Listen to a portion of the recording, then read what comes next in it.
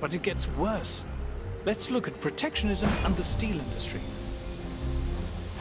If you're a steel producer, you don't like the idea of cheap steel coming in from America or Asia.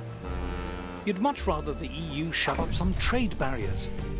Great for steel producers, but what if you're a steel consumer? Suppose you make bridges or railway lines or cranes or robots or ships or trains or cars or space shuttles or other things made of steel. You now have to pay more for your steel than your competitors in, say, South Korea or Brazil. Protecting one producer has raised costs for other producers. The disease spreads. Instead of one uncompetitive industry, we now have many.